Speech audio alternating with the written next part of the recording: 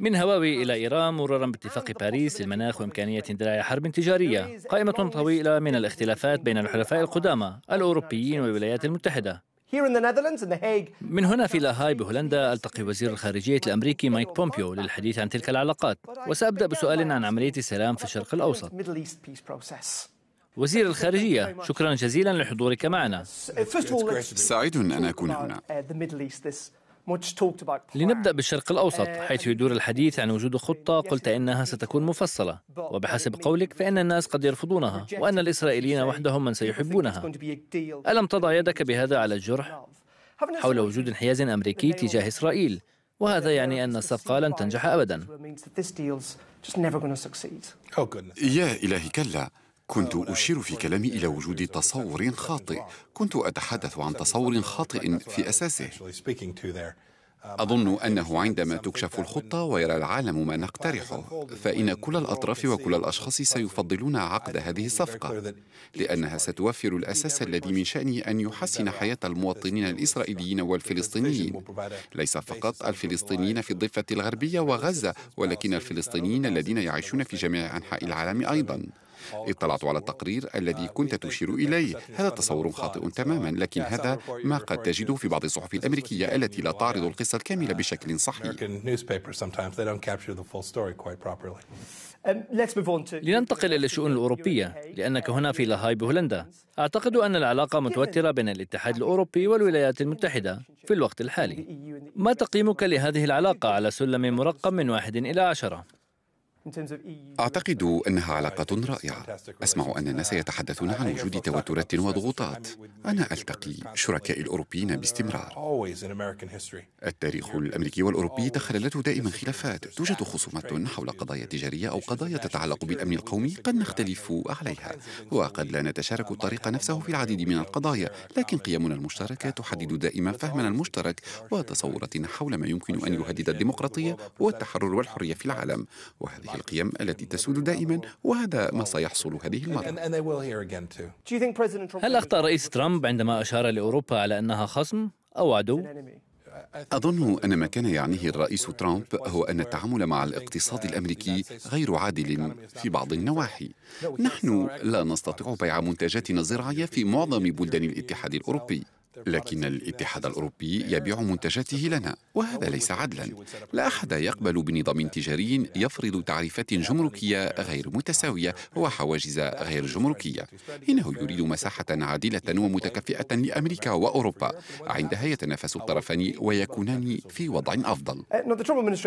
إدارة ترامب من أشد المؤيدين لبريكسيت لكن خروج بريطانيا من الاتحاد الأوروبي يضر بالتكتل الأوروبي. هل تدعم إدارة ترامب البريكسيت؟ لأنه يلحق الضرر بالاتحاد الأوروبي؟ خروج بريطانيا من الاتحاد الأوروبي كان قرار شعب المملكة المتحدة كما تتذكر. تم تنظيم استفتاء وصوت فيه شعب دولة ذات سيادة. إذا هو ليس قرارا أمريكيا بل قرار على أساس ديمقراطي. في هذه الظروف هل رئيس ترامب يدعم بريكسيت؟ شعب المملكة المتحدة هو أكبر مؤيد للبريكسيت لقد صوتوا لذلك وهذا هو السبب في خروج بريطانيا من الاتحاد الأوروبي وليس بسبب ما قد يقوله أي طرف آخر شعب المملكة المتحدة من طلب بالخروج تحدث الرئيس ترامب عن رغبته في توقيع اتفاق تجاري في أسرع وقت ممكن. نعم بالطبع. هل الاتفاق التجاري مع المملكة المتحدة أولوية أكثر من الاتفاق مع الاتحاد الأوروبي؟ علينا أن نرى كيف تسير عملية خروج بريطانيا من الاتحاد الأوروبي. لكن نعم إنه أولوية بالنسبة إلينا. لدينا علاقة عميقة مع المملكة المتحدة وعلاقة تجارية مهمة. أنا في هولندا اليوم إنهم مستثمرون كبار في الولايات المتحدة والأمريكيون مستثمرون كبار في هولندا. لدينا قمة عالمية لريادة الأعمال بسبب التزامنا المشترك بسيادة القانون والانفتاح التجاري. نريد أن نحقق ذلك مع المملكة المتحدة. وسنحققه عندما يتم الانتهاء من البريكزيت نعتزم العمل لإبرام اتفاقية تجارة حرة قائمة على التكافؤ والثقة وتسهم في نمو اقتصاد البلدين. ترى أن ذلك سيحدث قبل أن يحدث مع الاتحاد الأوروبي.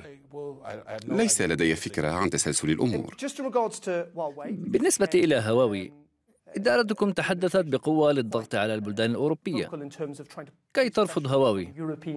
لماذا يجب على الحكومات الأوروبية أن تستمع إلى تحذيرات إدارة ترامب؟ شأن هذه الشركة.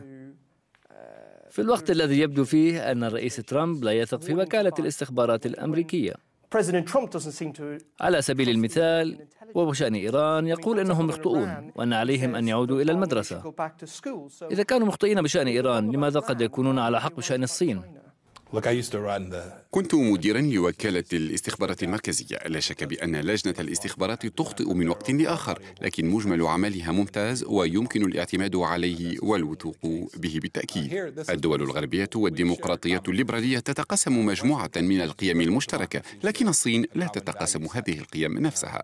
كما أن بنيتها التحتية وأنظمتها التقنية تختلف اختلافا جذريا خصوصا في حالة الشركة المدعوة هواوي أساس شركة هواوي قائم على العمل مع الحكومة الصينية.